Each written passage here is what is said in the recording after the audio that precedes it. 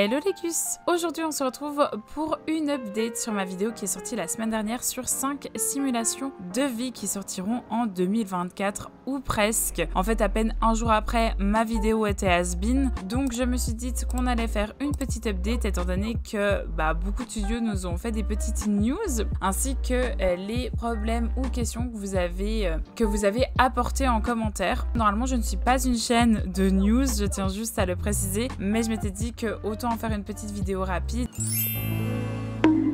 Dans les commentaires, vous aviez beaucoup parlé des performances de PC. Quel PC il faudra pour jouer à quel jeu? J'ai essayé du coup de me renseigner. Concernant Paralife, ils essayent d'optimiser le jeu un maximum avant que vous puissiez y jouer sur ordi portable. Concernant Live by You, il va être quand même un peu plus euh, demandeur. Moi, j'y connais rien en PC, donc c'est pour ça que j'en avais pas parlé. J'ai demandé du coup de l'aide à mon copain informaticien. Il m'a dit que euh, la RAM minimum qu'il vous faudra pour jouer à Live by You, c'est 16 En sachant que si vous vouliez faire tourner les Sims 4, il fallait un minimum de 4 GB, donc c'est quand même un saut assez important. Donc il sera assez demandeur, mais comparé à d'autres jeux vidéo sur le marché, c'est pas le pire, mais c'est non plus pas le meilleur. Concernant Inzoi, on m'a informé dans les commentaires de ma dernière vidéo que les gens qui ont testé le jeu, l'entreprise leur a envoyé des PC spécifiques qui étaient accompagnés d'une RAM de 64 GB, donc qui est très très importante. Après, à voir si on va pouvoir mettre des paramètres de graphisme beaucoup plus faibles pour jouer sur des PC à plus basse performance.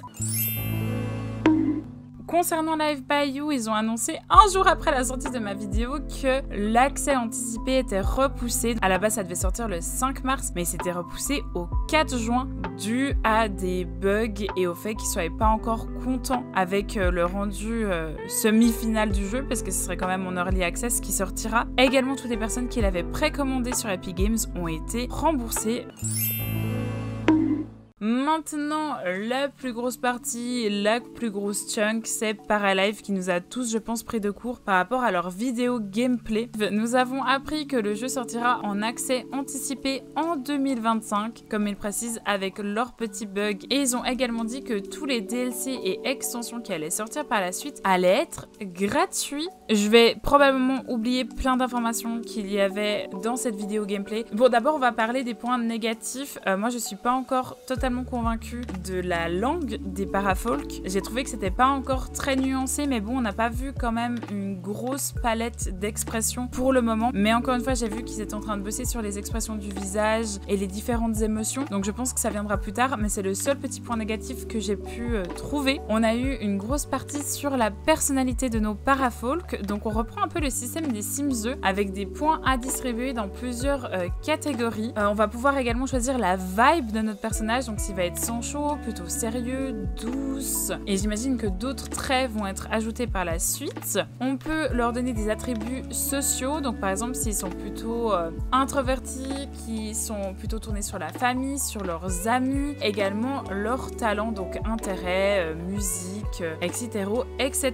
On a également des styles de vie, donc s'ils sont végétariens, s'ils sont plutôt propres ou plutôt crado, également leur habitude de magasinage. Donc ça, ça m'intrigue vraiment. Non seulement on va pouvoir améliorer ses points de compétences, donc par exemple si jouer de la guitare, vous aurez des points de guitare en plus, mais également des points de connaissance en musique. Et ça me rappelle un peu les Sims 2, mais également de temps en temps, on va gagner des niveaux en personnalité où on va pouvoir choisir par exemple si on préfère euh, être plutôt studieux, donc on va avoir des avantages euh, à, apprendre des choses, ou si par exemple si on veut plutôt avoir le sommeil profond qui va nous améliorer des points musique. Donc je trouve ça vraiment cool que notre parafolk va évoluer par rapport au style de gameplay qu'on va avoir. On a aussi su que par rapport à sa personnalité, il va avoir des facilités ou des difficultés dans son travail. Pour le moment, on ne pourra pas accompagner notre parafolk à son taf. Je trouve ça hyper cool qu'on puisse balader dans la ville et voir des jobs à pourvoir, mais de ce que j'ai vu sur leur Patreon, on pourra également refaire de la recherche d'emploi peut-être via téléphone. Donc ça c'est également cool.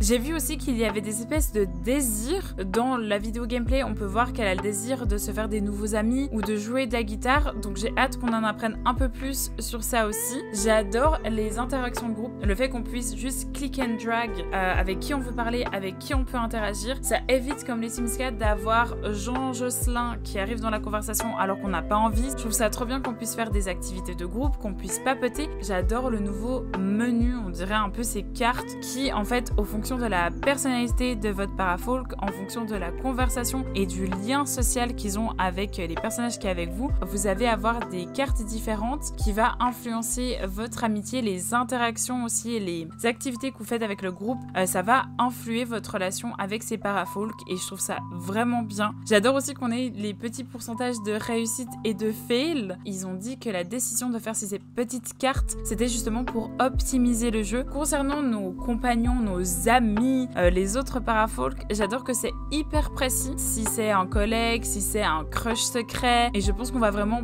pouvoir s'amuser avec. J'ai aussi l'impression, mais je sais pas si c'est juste la vidéo, que les relations vont être beaucoup plus posées et prendre du temps. Également, on revient à la personnalité, au taf et tout le tiquanto. On a bien vu dans la vidéo que on allait pouvoir avoir certaines opportunités suivant les parafolks qu'on rencontre et ainsi nos points de compétence, nos intérêts, euh, comme par exemple là, elle peut obtenir une nouvelle carrière. Nous avons aussi vu Jean Bomber qui s'est rasé la tête et qui a pensé qu'on n'allait pas le voir. Euh, nous t'avons grillé.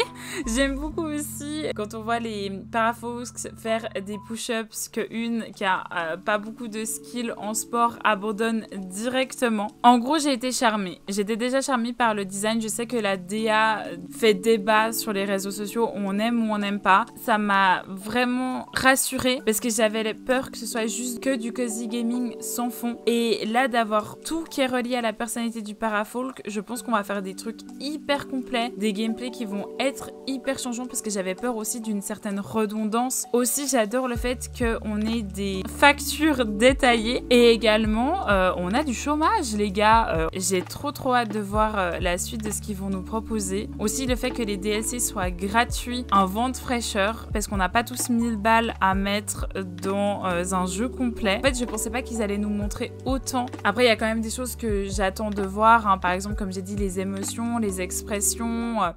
Et du coup, c'est ce qui conclut euh, ma vidéo. Comme je vous l'ai dit, j'avais fait sans script avec juste des points clés que j'avais envie d'énoncer. Donc forcément que j'ai oublié des choses, forcément qu'il y a des nouvelles choses qui vont sortir. Donc n'hésitez pas à me laisser en commentaire ce que j'ai raté. Comme j'ai dit, normalement, je ne suis pas une chaîne euh, de nouvelles. Voilà, je fais très peu de news, mais j'ai vu que ça vous avait bien plu. Donc peut-être que je continuerai le concept dans le futur. Donc dites-moi si cette petite update vous a également plu. Et on se retrouve prochainement pour un live ou une prochaine vidéo. A plus dans Bus Legus.